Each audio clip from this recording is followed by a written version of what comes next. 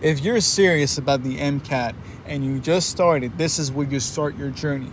This playlist has essentially the fundamental knowledge required to start building your, your knowledge in biology.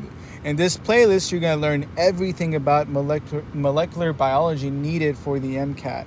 We're going to talk about basic things like transcription, translation, but in a more detailed manner than compared to your IB or AP biology classes. And if you're taking IB and AP, these playlists will, will help you understand all the missing gaps that you probably won't understand inside these classes because we're not in AP and IB, we're not, you know, we're not giving off everything you need to know. We're just giving you certain elements and sometimes it's confusing because you don't have the entire information. But to cut to the chase in this uh, this playlist we're going to talk about molecular biology. It's the first playlist you should be watching for the mcat biology and uh, here's a overview of what we're covering.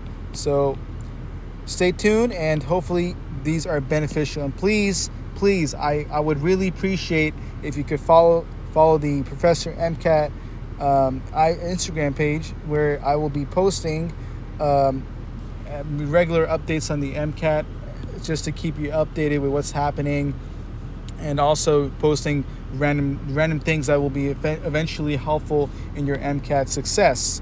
And the last thing I do want to ask is please make sure that you comment and and you ask whatever you want to ask. I'll be keeping an eye on the comment section and I'll try to reply. So uh, stay tuned, everybody, and thank you very much. Appreciate it a lot.